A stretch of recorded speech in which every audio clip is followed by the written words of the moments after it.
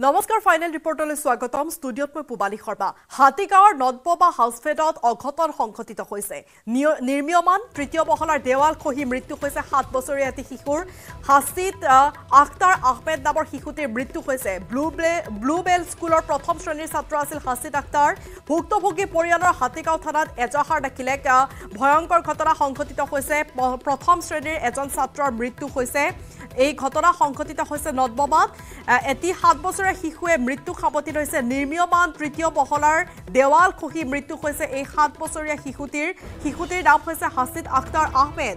Bluebell স্কুলৰ প্ৰথম শ্ৰেণীৰ ছাত্ৰ হাছিদ আখতাৰ ভুক্তভোগী পৰিয়ালে ইতিমধ্যে সমগ্ৰ ঘটনা সন্দৰ্ভত হাতীগাঁও থানাত এজাহাৰ দাখিল কৰিছে। নিৰ্মীয়মান এটা অট্টালিকা আৰু সেই অট্টালিকাটো নিৰ্মীয়মান অৱস্থাত থাকোঁতে দেৱাল খহি পৰিছে। দেৱাল খহি এই শিশুটিৰ গাৰ ওপৰত পৰিছিল। যাৰ ফলত মৃত্যু সাৱটিবলগীয়া হৈছে এই কণমানি শিশুটিয়ে। আৰু একমাত্ৰ নিৰ্মাণ কাৰ্যৰ দুৰ্বলতাৰ বাবে এই ঘটনা সংঘটিত হোৱাৰ অভিযোগ উত্থাপন কৰিছে পৰিয়ালে আৰু তাৰ পাছতেই পৰিয়াল কাষ চাপিছে আৰক্ষীৰ। হাতীগাঁও থানাত সমগ্ৰ ঘটনা সন্দৰ্ভত ইতিমধ্যে এজাহাৰ দাখিল কৰিছে ভুক্তভোগী পৰিয়ালটোৱে। থকা অৱস্থাত এই ওপৰৰ পৰা সেই ৱালটো আণ্ডাৰ কনষ্ট্ৰাকশ্যন কোনো মানে লিগেল ফৰ্মেলিটি মেইনটেইন নকৰাকৈ কাম কৰি আছিল। আপুনি চাওক ইয়াৰ পৰা কেমেৰাটো ধৰিলে চাব পাৰিব। কেনেকুৱা ইলিগেল কনষ্ট্ৰাকশ্যন কৰি আছে বেলেগ বাউণ্ডেৰীৰ পৰা ৱাল আহি কেনে ইয়াতে তিনি চাৰি ফুট দূৰত আহি কেনে তিনি চাৰি ফুট নহয় বেছি দূৰত আহি কেনে খেলি থকা ল'ৰা ছোৱালীৰ মূৰৰ ওপৰত পৰি লগে লগে আপোনাৰ ডেথ গতিকে এনেকুৱা ইলিগেল কনষ্ট্ৰাকশ্যন জি এম চিৰ পৰা পাৰ্মিশ্যন পাইছে কৰি আছে জি এম চিৰ কোনো ই নাই। আৰু যিজন মালিকে কৰি আছে কোনো ইঞ্জিনিয়াৰিং ড্ৰয়িঙৰ লগত কোনো একো মানে ই নকৰাকৈ ইলিগেল কনষ্ট্ৰাকশ্যন কৰি আজি আমাৰ নিজৰ ভতিজা এটা আজি মৃত্যুমুখত পৰিব লগা হৈছে। এই সন্দৰ্ভত উৎপল হালৈৰ এক প্ৰতিবেদন আছে আগবঢ়াইছো ৰাজধানী চহৰ গুৱাহাটী মহানগৰীৰ হাতীগাঁও নদবমাত এক চাঞ্চল্যকৰ ঘটনা সংঘটিত হৈছে য'ত তিনিমহলীয়া অট্টালিকাৰ পৰা দেৱাল খহি সাত বছৰীয়া এগৰাকী কিশোৰ মৃত্যুমুখত পৰিছে। এই খবৰ বিয়পি পৰাৰ লগে লগে হাতীগাঁও নদবমা অঞ্চলত শোকৰ ছাঁ পৰিছে। বিশেষকৈ ছাত্ৰগৰাকী অতি মেধাৱী আছিলে ক্লাছ ওৱানৰ ছাত্ৰ আছিলে আৰু যি ব্লু ৱেল স্কুলত পঢ়ি আছিলে তেওঁ ক্লাছৰ ভিতৰতে প্ৰথম স্থা- স্থান লাভ কৰিছিলে আৰু সমান্তৰালভাৱে বিদ্যালয়খনৰ কেপ্টেইনো থকা বুলি আমি খবৰ লাভ কৰিছিলোঁ। এই গোটেই ঘটনা যি বিৱৰণ দিওঁ তেতিয়াহ'লে উল্লেখ কৰিম যে শাহ নৱাজ আলম নামৰ এগৰাকী লোকে অট্টালিকাটো নিৰ্মাণ কৰিছিলে নিৰ্মাণ কাৰ্যত গাফিলতি থকাৰ বাবে তৃতীয় মহলাৰ পৰা নিৰ্মাণ কাৰ্য কৰি থকা অট্টালিকাৰ দেৱাল খহি পৰিছিল আৰু খহি সেইগৰাকী ছাত্ৰৰ ওপৰতে পৰিছিলে। ছাত্ৰগৰাকীয়ে দুপৰীয়া ডেৰ বজাত পৰীক্ষা সমাপ্ত কৰি আহিছিলে। বিদ্যালয়ৰ পৰা আহি চাৰে তিনি বজাত এই স্থানত খেলি আছিলে আৰু খেলি থকাৰ পিছতে এই দেৱালখন সতি থৈ দেখুৱাব দেৱালখন দেখুৱাবলৈ অনুৰোধ কৰিছোঁ। এই দেৱালখন দেখুৱাইছে দেৱালখন খহি মূৰত পৰিছিলে আৰু মূৰত পৰাৰ লগে লগে এই স্থানতে তেখেতে নিহত হোৱা বুলি এক খবৰ পোৱা গৈছে। আৰু মৃত ছাত্ৰগৰাকীৰ নাম উল্লেখ কৰি দিছোঁ আৰু সমান্তৰালভাৱে এইখিনিতে মুহূৰ্তত উল্লেখ কৰিব বিচাৰিম যে এই যিখন বাউণ্ডাৰী দেৱাল আছে। বাউণ্ডাৰী দেৱালৰ পৰা মাত্ৰ এক ফুট দূৰত্বতহে তেখেতে অট্টালিকাটো নিৰ্মাণ কৰিছিলে। জি এম চি বা জি এম ডিৰ নীতি নিৰ্দেশনা অনুসৰি অতি কমেও ছয়ৰ পৰা দহ ফুট দূৰত্ব ৰাখিব লাগে। সকলো নীতি নিয়ম উলংঘা কৰাৰ ফলতে এনেধৰণৰ ঘটনা সংঘটিত হৈছে। আৰু এই মুহূৰ্তৰ সতীৰ্থে পৰিৱেশ দেখুৱাইছে যে এইসকল লোক ওলাই আহিছে আৰু সেই সময়ত এগৰাকী যুৱতীও আছিলে। সেই খেলি আৰু তেখেতসকলৰ পৰাও কিছু জানিবলৈ চেষ্টা কৰিম। কি হৈছিলে গোটেই ঘটনাটো? মানে মই ইয়াতে মানে খাৰা হৈ আছিলোঁ তেতিয়া মানে সেই ল'ৰাটো মানে তাতে বল লৈ খাৰা হৈ আছে। মই কৈছোঁ বলটো দে মই ঘৰত যাম। মোৰ মানে এক্সাম আছে পঢ়িব যাম। তো সি মানে কি কৰিছে মোক দিয়া নাই তাতে খাৰা হৈ কিবা কৰি আছে। তো মই কৈছোঁ বল দে। তাৰপিছত সি মোক দিয়া নাই খং উঠিছে মই এনেকৈ তলত চাইছোঁ।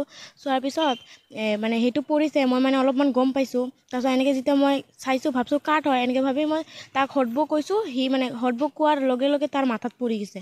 তাৰপিছত পৰাৰ পিছত মানে মই মানে আৰু কি কৰিম দৌৰ মাৰি যাই তাৰ আম্মাক কৈছোঁ তাৰ আম্মা আহিছে মানে আহি কেনে এটা ল'ৰা আছে তাৰ আব্বা আহি কেনে মানে তাক লৈ গৈছে লৈ যাই কেনে মানে হস্পিটেলত কি আছিলে? আশিক আক্তাৰ আহমেদ। আৰু ইয়াৰ স্থানীয় লোক আছিলে দাদা কি হৈছিলে গোটেই ঘটনা? ঘটনা মানে মই ঘৰত আছিলোঁ। তা ঠিক মোৰ ডেৰটা বজাত মোৰ ল'ৰাক মানে ইয়াত খেলি আছে। মোৰ ডাঙৰ ভাইটিৰ ল'ৰা হয়। আৰু মোৰ ল'ৰা খেলি আছে আৰু মোৰ এই আণ্টিৰো নাতিন আছিলে তিনি চাৰিজন ল'ৰা ছোৱালী আছিল আৰু মোৰ ল'ৰাক মানে ভাত খুৱাব বুলি মাতি মাতিব আহিছিলোঁ। তা মই আহান বুলি ক'লোঁ মোৰ ল'ৰাৰ নাম আহান হয়। তা আহানক ক'লোঁ য ভাত খাওঁ। তা তাই কৈছে কি অলপ পিছত আহিম। মই কৈছোঁ এতিয়াই ব'ল ভাত খুৱাম। তো তাক লৈ গ'লোঁ লৈ যোৱাৰ সময়ত ই ক'লে মানে আছিকে ক'লে যে মাহী আপুনি যাওক মই আপোনাৰ ফুটবলটো ঘৰত দি আহিম। তো মই ক'লোঁ ঠিক আছে তুমি ঘৰত দি আহিবা আৰু তুমি ঘৰত যাবাগে।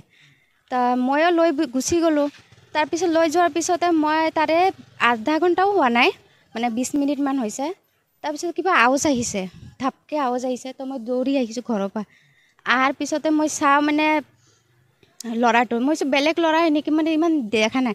মোৰ ল'ৰাক বিচাৰি আছোঁ পাগলৰ দৰে যে মোৰ ল'ৰাটো কি হ'ল? পিছত মনত আহিছে যে সি ঘৰতে আছে।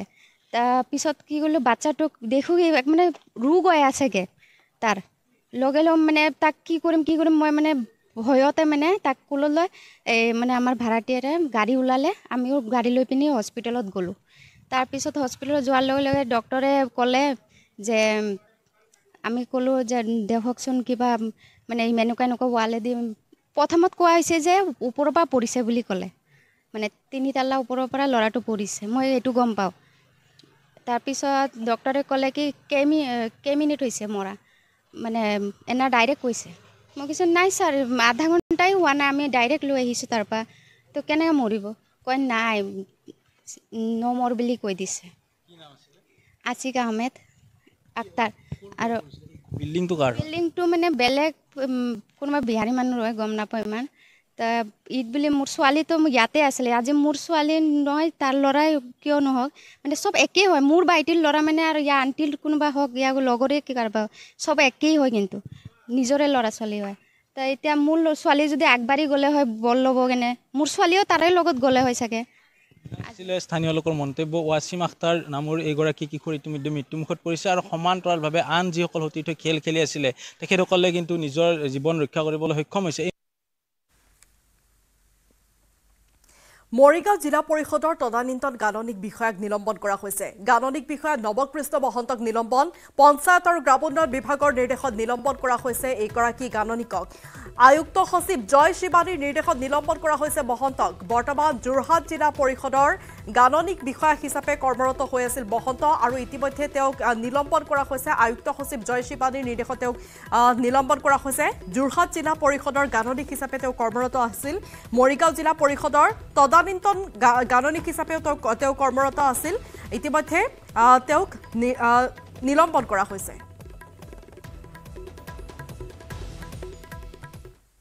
বিহালীত ভয়ংকৰ ঘটনা। টিউচনলৈ যোৱা নৱম শ্ৰেণীৰ ছাত্ৰীক ব্লেডেৰে আক্ৰমণ। ব্লেডেৰে শৰীৰৰ বিভিন্ন স্থানত আক্ৰমণ কৰা হৈছে ছাত্ৰীগৰাকীক। বিহালীৰ ধেমাজিবাৰীত সংঘটিত হৈছে এই ঘটনা। দলটোত তিনিজন যুৱক আৰু এগৰাকী মহিলা থকা বুলি ছাত্ৰীগৰাকীয়ে উল্লেখ কৰিছে। প্ৰথমে মহিলাগৰাকীয়ে বাট আগচি ধৰে ছাত্ৰীগৰাকীৰ আৰু পাছত মহিলাগৰাকীয়ে মুখত সোপা দি বাগিচাৰ মাজলৈ লৈ গৈছিল ছাত্ৰীগৰাকীকে আৰু দুখন মটৰচাইকেলেৰে আহি তিনি যুৱক উপস্থিত হৈছিল উক্ত স্থানত যুৱক কেইজনক দেখি চিঞৰ বাখৰ কৰিছিল ছাত্ৰীগৰাকীয়ে আৰু তাৰ পাছতে ছাত্ৰীগৰাকীক ব্লেডেৰে আক্ৰমণ কৰি পলায়ন কৰে দলটোৱে। দলটোৰ হাতত চোকা অস্ত্ৰও দেখিছিল বুলি জানিবলৈ দিছে কিশোৰীগৰাকীয়ে। ঘটনাৰ পাছতে জিঞ্জিয়া থানাত উপস্থিত হৈছে শতাধিক লোক আৰু নাৰীৰ সুৰক্ষা বিচাৰি ৰাইজে এনেদৰে সাব্যস্ত কৰিলে প্ৰতিবাদ। মোৰ ল'ৰা আগত যায় সি পিছত যায় অলপ আধা ঘণ্টাৰ ডিফাৰেঞ্চত হেৰি কৰে ছাৰ মই বহুত দুখত হেৰি আছো কালিৰ পৰা মই কেনেকৈ এক- তাৰিখৰ পৰা তাৰ এক্সাম চলিব মই কালিৰ পৰা টিউচন কেনেকৈ পঠাম তেনেকা হ'লে মোৰ ল'ৰাক তেনেকা ছোৱালীক তেনেকা। মোক বহুত ভয় লাগি গৈছে। ছাৰক মই লগে লগে ফোন কৰিছো আমাৰ ছোৱালীটো তাত পাওঁ। গৈছিল নে যোৱা নাই বুলি ছাৰে কৈছে মই ফেক্টৰীত আনিছো বুলি। বহুত বেয়া লাগিছে। আজি ছোৱালী কৈছে কালি ল'ৰা কৰিব। আমি কি কৰিম? নপঢ়ালেওতো আমাৰ জিন্দাগী। ল'ৰা ছোৱালীৰ ওপৰত ভৰসা কৰি আমি বহিছো জীয়াই আছো। নপঢ়ালেও হেৰি হ'ব। পঢ়ালেও তেনেকা কি কৰিম ছাৰ? আমাক কি কি হ'ব? আমাক এইটো আমাক হেৰি কৰি দিয়ক ছাৰ। মাইকী মানুহ আমি কেতিয়াবা অফিচত যাব লগীয়া হয় বা কেতিয়াবা কিবা কামত যাব লগীয়া হয় বা বজাৰ হত হাট হত এতিয়া ওলাবলৈ হলে আমাক বহুত মানে ভয় লগা হৈ গল। কাৰণ যেনেকুৱা হলে আমাৰ এই দুখী জল্দি হলে জল্দি আমাক ওলাই দিব লাগে আৰু শাস্তিটো এনেকুৱা শাস্তি দিব লাগে না দুবাৰ মানে এইটো কাম নকৰক। আৰু ৰাইজক মই এইটোৱে অনুৰোধ আমি আৰু মিডিয়াক এইটোৱে অনুৰোধ কৰো য'ত হলে আপোনালোকে সেই শাস্তিটোক ওলাই দিবলৈ আমি অনুৰোধ জনাই আছো। আৰু আমাৰ যিমানখিনি ৰাইজৰ ওপৰত হেৰি আছে আৱেগ আছে আজি মানে আমি এনেকুৱা ওলাই হৈ আছো যে এই মানুহটো পালেহে আমি কিবা এটা কৰিম বুলি তেনেকুৱা আমাক মানে হেৰি হৈ আছে। কাৰণ আমাৰ ল'ৰা ছোৱালীক বহুত মানে ভয় হৈ আছে। কাৰণ সিহঁতে অকলে খোজকাঢ়িবলৈ মানে সিহঁতৰ দিন নাই আজি। তেনেকুৱা হৈ আছে। আমাৰ কলেজ যোৱা ছোৱালী বিলাক হওক হাইস্কুল ছোৱালী বিলাকক হওক তেনেকুৱা ভয় হৈ আছে। আজিকালি আমি অকলে নাযাওঁ মা বলচোন বুলি কয়। এতিয়া মোৰ সৰু ল'ৰা ছোৱালী আছে।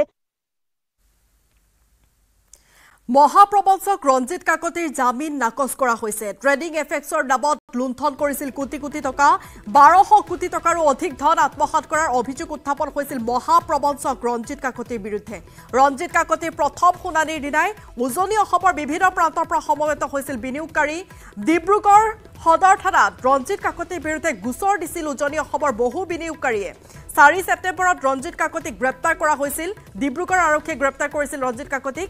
উল্লেখ্য যে ওঠৰ মাহত তিনিগুণ ধন উভতাই দিয়াৰ প্ৰতিশ্ৰুতি দিছিল ৰঞ্জিত কাকতিয়ে। ফৰেক্স ট্ৰেডিঙত বিনিয়োগ কৰাৰ টোপ দি লোভীয়া লোকক জালত পেলাইছিল ৰঞ্জিত কাকতিয়ে। ইমানেই নহয় ট্ৰেডিং এফেক্ট যোগে একাংশ বিনিয়োগকাৰীয়ে লাভ কৰিছিল বিলাসী বাহনো।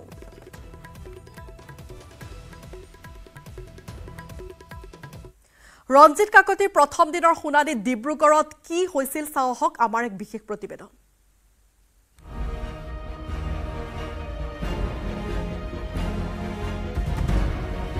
ডিব্ৰুগড় সদৰ থানাত প্ৰবঞ্চিত লোকৰ ভিৰ। ৰঞ্জিত কাকতিৰ বিৰুদ্ধে গোচৰ দিবলৈ আহিল একাংশ। ট্ৰেডিং এফেক্সৰ নামত লুণ্ঠন কৰিছিল কোটি কোটি টকা। বৃহস্পতিবাৰে পুৱাই মহাপ্ৰবঞ্চক ৰঞ্জিত কাকতিৰ বিৰুদ্ধে গোচৰ তৰিবলৈ ওলাই আহিল পুনৰ একাংশ লোক। ৰঞ্জিত কাকতিৰ প্ৰথম শুনানিৰ দিনাই উজনি অসমৰ বিভিন্ন প্ৰান্তৰ পৰা সমবেত হয় বিনিয়োগকাৰী। ইতিমধ্যে ৰঞ্জিত কাকতিৰ বিৰুদ্ধে গোচৰ দিছিল উজনি অসমৰ বহু বিনিয়োগকাৰীয়ে। ট্ৰেডিং এফেক্সৰ জৰিয়তে বাৰ হাজাৰ কোটি টকা আত্মসাত কৰাৰ অভিযোগ মহাপ্ৰবঞ্চক ৰঞ্জিত কাকতিৰ বিৰুদ্ধে। গোচৰৰ পিছতে চাৰি ছেপ্টেম্বৰত ৰঞ্জিত কাকতিক গ্ৰেপ্তাৰ কৰিছিল ডিব্ৰুগড় আৰক্ষীয়ে। কিন্তু বিশাল চুমি সন্দৰ্ভত আৰক্ষীয়ে যেনেদৰে পদক্ষেপ গ্ৰহণ কৰিছে ৰঞ্জিত কাকতিৰ ক্ষেত্ৰত শিথিল হোৱা পৰিলক্ষিত হৈছে বুলি অভিযোগ উত্থাপিত কৰিছে একাংশই। এই ৰঞ্জিত কাকতিৰ পৰা আদি কৰি যিজন সাতজন ফাউণ্ডাৰ মেম্বাৰ অসমত লৈ আহিছিলে ট্ৰেডিং এফেক্স ব্যৱসায়টো এই এই- এইকেইজনক অতি সোনকালে তদন্তৰ আওতালৈ আনি গোটেই বিষয়বস্তুটোৰ ওপৰত এটা এটা ন্যায় প্ৰদান কৰিব লাগে। ট্ৰেডিং এফেক্সৰ প্ৰবঞ্চনাৰ গোচৰত জড়িত আন পলাতক অভিযুক্তক আজিলৈকে ডিব্ৰুগড় আৰক্ষীয়ে গ্ৰেপ্তাৰ কৰিব নোৱাৰাত ক্ষোভ উজাৰিছে বিনিয়োগকাৰীসকলে। বিশাল ফুকনক ধৰিব পাৰিছে চুমি বৰাক যদি তদন্তৰ আওতালৈ আনিব পাৰিছে চুমি বৰাক যদি খেদি খেদি ধৰিব পাৰিছে তেন্তে এই যিকেইজন ৰঞ্জিত কাকতিৰ বাহিৰত যিকেইজন মুক্ত আকাশৰ তলত বৰ্তমান বিচৰণ কৰি আছে এইকেইজনক কেলৈ ধৰিব পৰা নাই? অসম চৰকাৰৰ সন্মানীয় মুখ্যমন্ত্ৰীয়ে এই দুষ্কৃতিকাৰীসকলক তদন্ত আওতালৈ আনি আমাৰ সেই ভুক্তভোগী অসমৰ জনগণক যাতে ন্যায় দিয়া কিবা এটা ব্যৱস্থা গ্ৰহণ কৰিব লাগে। উল্লেখ্য যে ওঠৰ মাহত তিনিগুণ ধন উভতাই দিয়াৰ প্ৰতিশ্ৰুতি দিছিল ৰঞ্জিত কাকতিয়ে।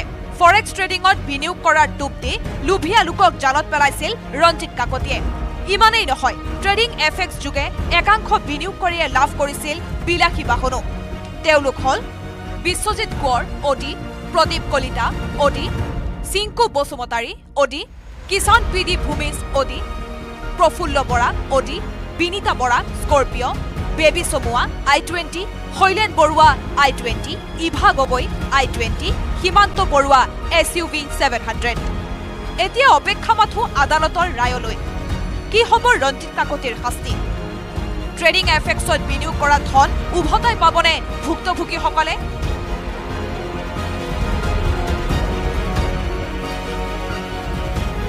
ডিব্ৰুগড়ৰ পৰা জেচিম আহমেদৰ সহযোগত bureau' report News eighteen Assam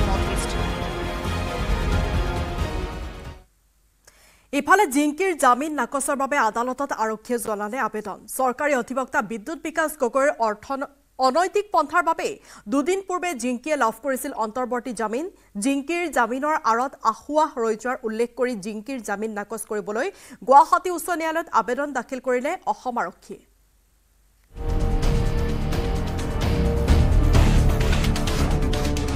trading কেলেংকাৰীৰ পিছত জিংকিৰ জামিন কেলেংকাৰী সুমীৰ বৌৱেক জিংকি মিলিৰ অন্তৰ্বৰ্তী জামিনক লৈ গৃহ বিভাগত হাহাকাৰ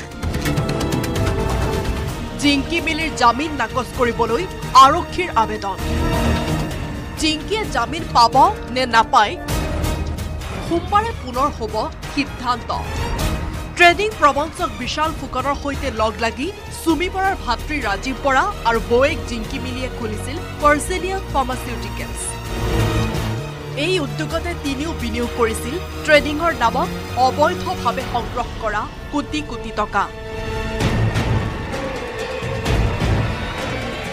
ডিব্ৰুগড় আৰক্ষীয়ে এই প্ৰবঞ্চনাৰ তদন্ত চলাই গ্ৰেপ্তাৰ কৰিছিল চুমিৰ ককায়েক বৌয়েকক। কিন্তু দুদিন পূৰ্বে এই জিংকি মিলিয়ে লাভ কৰিছিল অন্তৰ্বৰ্তী জামিন। পিছে জামিন পোৱাৰ পিছতে চৰকাৰী অধিবক্তাৰ কাণ্ডই তোলপাৰ লগালে ন্যায়িক বহলত। কাৰণ এই জামিন আবেদনত চৰকাৰী অধিবক্তা মাখন ফুকনক অন্ধকাৰত ৰাখি তেওঁৰে এছিষ্টেণ্টে সকলো নথি পত্ৰ গোপন কৰি জিংকিৰ সপক্ষত যুক্তি দিছিল। যাৰ বাবে জামিন পোৱাটো সহজ হৈ পৰিছিল জিংকিৰ। কিয়নো জিংকিৰ বিৰুদ্ধে যুক্তি প্ৰদৰ্শন কৰিবলৈ উপস্থিত থকাটো বাদেই এছিষ্টেণ্টৰ ষড়যন্ত্ৰৰ বাবে গমেই পোৱা নাছিল চৰকাৰী অধিবক্তা মাখন ফুকনে। জিংকিৰ জামিন কেলেংকাৰীৰ আঁৰৰ তথ্য বুধবাৰে খোলোচা হোৱাৰ পিছতে ন্যায়ালয়ে তাৎক্ষণিকভাৱে বৰ্খাস্ত কৰিছিল চৰকাৰী অধিবক্তা মাখন ফুকনৰ এছিষ্টেণ্ট অতিৰিক্ত লোক ফৰিয়াদী বিদ্যুৎ বিকাশ গগৈক। একে সময়তে চাকৰিৰ পৰা নিলম্বিত কৰে চৰকাৰী অধিবক্তাৰ কাৰ্যালয়ৰ সহায়ক কমল নাথ ব্ৰজেন কুমাৰ দাস অৰূপ কুমাৰ ডেকা। এই সমস্ত কাণ্ড কাৰখানা ফাদিল হোৱাৰ পিছত জিংকিৰ জামিন প্ৰাপ্তিত আসোঁৱাহ ৰৈ যোৱা বুলি উল্লেখ কৰি জিংকি মিলিৰ অন্তৰ্বৰ্তী জামিন নাকচৰ বাবে উচ্চ ন্যায়ালয়ত আবেদন কৰে অসম আৰক্ষীয়ে। লোক ফৰিয়াদী মাখন ফুকনে বিষয়টোত জৰুৰী শুনানি বিচাৰি আবেদন কৰে। অসম আৰক্ষীৰ সেই আবেদন উচ্চ ন্যায়ালয়ে গ্ৰহণ কৰাৰ লগতে সোমবাৰে ধাৰ্য কৰিছে এই গোচৰৰ শুনানিৰ দিন।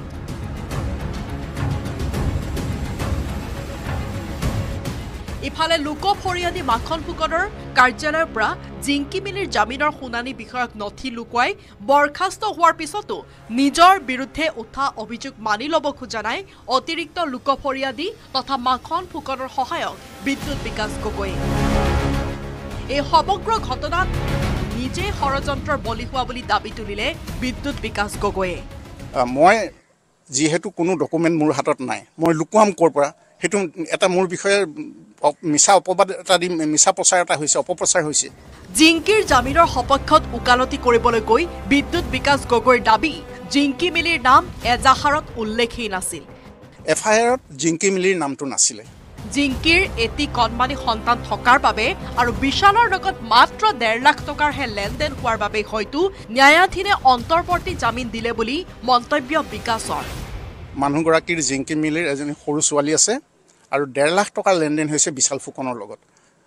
এটা নৰ্মেল মানে সাধাৰণ এমাউণ্ট বুলি মানে ধৰি লৈছে কোৰ্টে। মই ভাবোঁ দেই সেইটো কথা তাত লিখি দিয়া নাই সাধাৰণ এমাউণ্ট বুলি। বিৰিঞ্চি কুমাৰ ডেকাৰ report News eighteen Assam North East. সময় হৈছে চমু বাণিজ্যিক বিৰতিৰ। ভাই এনেই নাম্বাৰ ওৱান কণ্ট্ৰেক্টৰ হৈছো নেকি? সৰু কালৰ পৰাই ব্যৱসায় কৰি আছো সৰ্বোত্তম টি এম টি এইটো মাইথান ষ্টীল নহয়। সস্তা হয় বছ।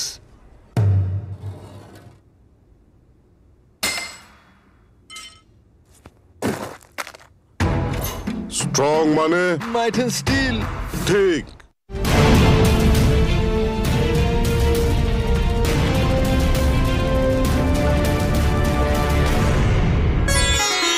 Weather report presented by Sunrise.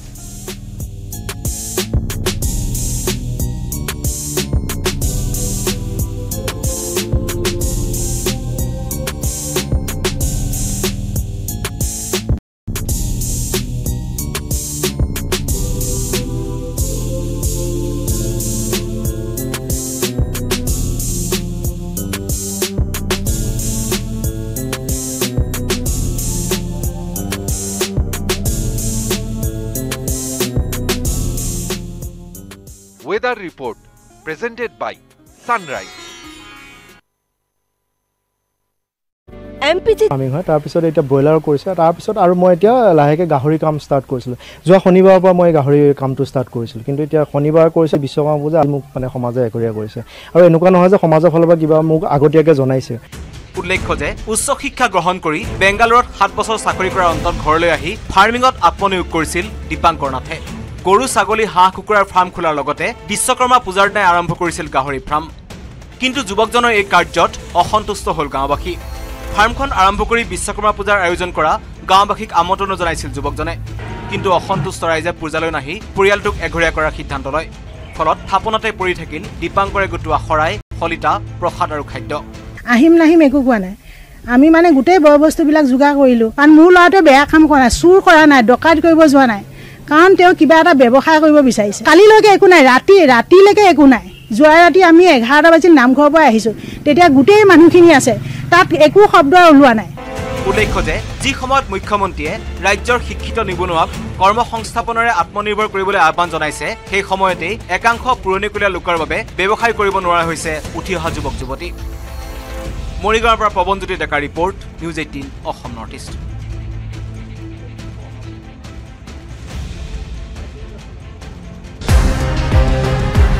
बीसे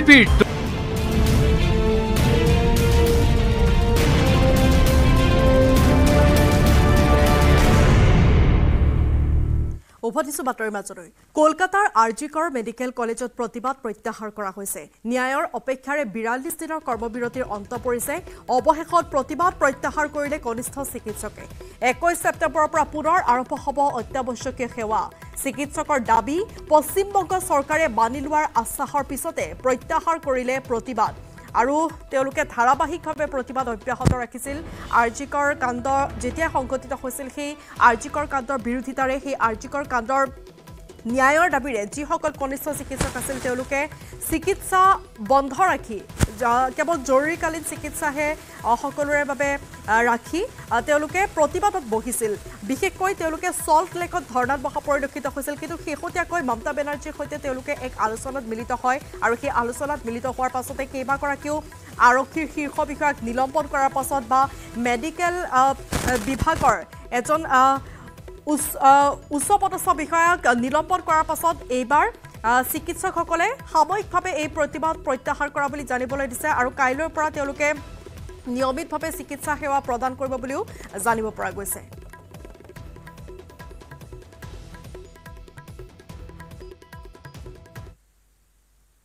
বিজেপি নেতাৰ গুণ্ডাগিৰি সন্দৰ্ভত আৰক্ষীৰ তদন্ত। সত্যেন্দ্ৰ নাথ ভট্টাচাৰ্যৰ বিৰুদ্ধে আৰম্ভ হৈছে তদন্ত। বশিষ্ঠ আৰক্ষীয়ে সংগ্ৰহ কৰিছে চিচিটিভি ভিজুৱেল। আৰক্ষীয়ে গ্ৰহণ কৰিছে মাছ বেপাৰীৰ জবানবন্দী। জনপ্ৰতিনিধিৰ এই কাণ্ডক লৈ সৰ্বত্ৰ প্ৰতিক্ৰিয়াৰ সৃষ্টি হৈছে।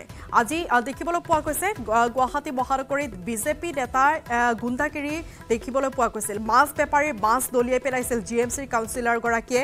বিক্ৰীৰ বাবে অনা মাছ ৰেহাই মূল্যত বিচাৰিছিল পাৰিষদজনে। কিন্তু দাম কমাই নোলোৱাৰ বাবেই সত্যেন্দ্ৰ নাথ ভট্টাচাৰ্যই এই কাণ্ড সংঘটিত কৰিছিল যি কাণ্ড চি চি টিভি কেমেৰাত বন্দী হৈছিল। বশিষ্ঠৰ চৌৰাল্লিছ নম্বৰ ৱাৰ্ডৰ কাউন্সিলৰ সত্যেন্দ্ৰ নাথ ভট্টাচাৰ্যই এই সমগ্ৰ ঘটনা সংঘটিত কৰিছিল। তাৰ পাছতেই সত্যেন্দ্ৰ নাথ ভট্টাচাৰ্যৰ বিৰুদ্ধে তদন্ত আৰম্ভ কৰিছে আৰক্ষীয়ে। কিলো দুইশ গ্ৰাম বিকেট মাছটো মই কাটি দিছোঁ। দুইশ টকাকৈ দাম মিলে। তে এজনক আমি ছয়শ গ্ৰাম দিছোঁ আৰু তাৰ মাছখিনি আধা কিলো হৈছে। তাৰ চাৰে চাৰিশ গ্ৰাম ধৰি দিব লাগে মই কৈছোঁ যে মোৰ লছ হ'ব আপুনি মোক দহ টকা কম দি দিব। এইখিনি কথা কোৱাতে মানে সি মোৰ মাছ চাছ দলে দিছে দা দলে দিছে ডাকাবাল্লা দলে দিছে। ৰাজধানী দিছপুৰৰ গাতে লাগি থকা এটা ব্যস্ততাপূৰ্ণ পথৰ বিধ্বস্ত অৱস্থাই জ্বলাকলা খুৱাইছে ৰাইজক। আজিলৈ লোক নিৰ্মাণ বিভাগে সম্পূৰ্ণ কৰিব নোৱাৰিলে গণেশগুৰি ভঙাঘৰ সংযোগী কছাৰী বস্তিৰ পথৰ মেৰামতিৰ কাম। পথৰ মাজত থকা বৃহৎ বৃহৎ গাতে বিৰক্ত কৰিছে সাধাৰণ ৰাইজক। ৰাজধানী দিছপুৰৰ গাতে লাগি থকা এটা ব্যস্ততাপূৰ্ণ পথ। পথটোৰে নিতৌ জি এম চি এইচলৈ অহা যোৱা কৰে হাজাৰ হাজাৰ লোক। পথটোত আছে। দিছপুৰ এন ই এফ কলেজৰ লগতে কেইবাখনো ব্যক্তিগত খণ্ডৰ হাস্পতাল। পিছে ব্যস্ততাপূৰ্ণ এই পথটোৰ আজিও সম্পূৰ্ণ নহল মেৰামতি। পথৰ মেৰামতিৰ নামত চলিছে ভেকু ভাওনা। কিয়নো বছৰৰ বাৰ মাহে মেৰামতি চলে জি এম চি এইচ পথৰ। তিনি দশমিক এক কিলোমিটাৰ দৈৰ্ঘ্যৰ পথটোৰ মেৰামতিৰ বাবে সময় পাৰ হৈছে বছৰৰ পিছত বছৰ। তথাপি মেৰামতি সম্পূৰ্ণ কৰিব পৰা নাই গড়কাপ্তানী বিভাগে।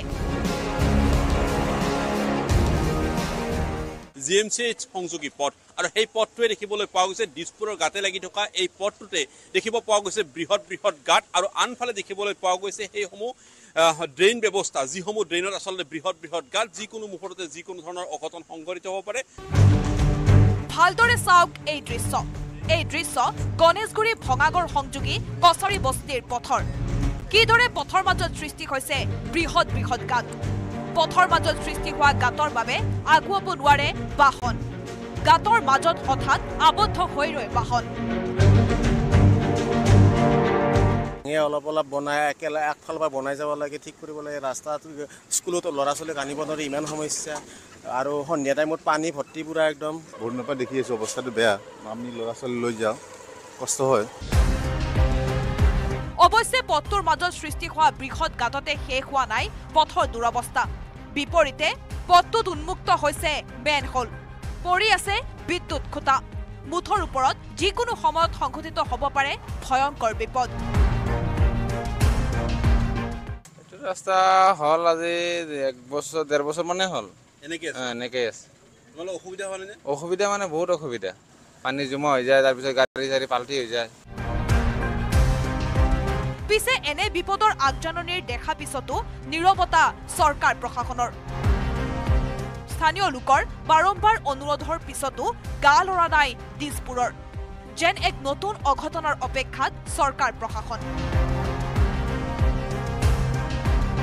গুৱাহাটীৰ পৰা বলেন ভট্টাচাৰ্য আৰু Hirakjyoti মালাকাৰৰ report News eighteen Assam North East.